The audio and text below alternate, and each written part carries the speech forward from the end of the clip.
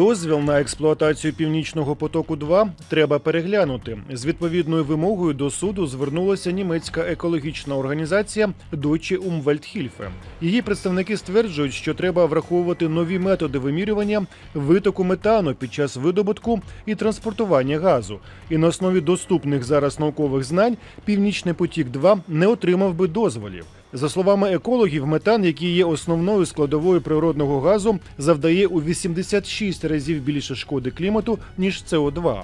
Тим часом стало відомо, що судно Фортуна, яке було одним з кандидатів на добудову північного потоку 2 не братиме участі в будівництві трубопроводу. Про це повідомила російська компанія МРТС, у якої в оренді перебуває трубоукладальна баржа. У червні датський регулятор дозволив Nord Stream 2 під час укладання труб використовувати судна з якірною системою позиціонування, такі як Фортуна. Газопровід Північний потік 2 який проходить по дну Балтійського моря через територію Фінляндії, Швеції та Данії, майже добудований. Залишилося прокласти не більше пари сотень кілометрів трубопроводу. На запит ДВ у Nord Stream 2 заявили, що цитата працюють над рішеннями для подальшого укладання трубопроводу. За відсутності фортуни єдиним спроможним кандидатом залишається трубоукладач академік Черкаський, який стоїть у німецькому порту Мукран.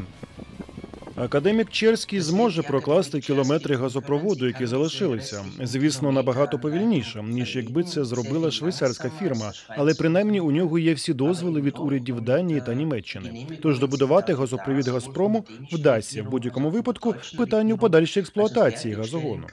Будівництво північного потоку 2 було припинено в грудні 2019 року через американські санкції. У липні США запровадили нові санкції відносно будь-яких суден, що беруть участь у прокладанні труб, а також компанії, які забезпечують страховку суден і технічне обслуговування. Берлін, який раніше підтримує будівництво трубопроводу і закликає до деескалації напруженості навколо проєкту. Ми все ще сподіваємося, що до цих санкцій справа не дійде. Ми у федеральному уряді єдині в думці, що в будь-який час готові до переговорів з метою уникнення ескалації. Підтримує Північний потік 2 і канцлерка ФРН Ангела Меркель, яка вбачає у ньому економічний, а не політичний проєкт. Втім, деякі експерти вважають, що Північний потік 2 енергетично невигідний Німеччині. Уряд Німеччини, як і раніше, підтримує північний потік. 2 Хоча я думаю, вони хвилюються через збільшення проблем навколо нього і намагаються переконати американців не допустити жорстких санкцій. Спіраль санкцій і контрсанкцій закручується, і все стає дуже проблематично. Газопровід Північний потік 2 за великим рахунком не потрібен Німеччини з енергетичної точки зору. Він дуже дорогий і крім того йде в розріз з цілями захисту клімату. Але далеко не всі в ЄС підтримують ФРН в цьому питанні. Нещодавно участь Німеччини у будівництві Північного потоку 2 розкритикував прем'єр-міністр Польщі Матеуш Моравецький. А перед цим управління із захисту конкуренції та справ споживачів Польщі виписало штраф Газпрому на 50 мільйонів євро через відмову російської компанії надати дані про контракти Nord Stream 2 з європейськими компаніями, які фінансують будівництво газопроводу. Однак і це ще не все. У США зараз розмірковують над запровадженням санкцій проти всіх, хто взяв участь у будівництві газогону, а також щодо покупців газу з цього трубопроводу.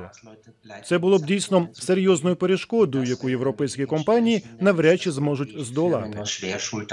За рішенням датського енергетичного агентства Nord Stream 2 може розпочати будівництво газопроводу у водах Данії вже з 3 серпня, але будівництво поки не відновлено. Всі роботи у територіальних водах Данії заборонені до кінця вересня через нерест тріски.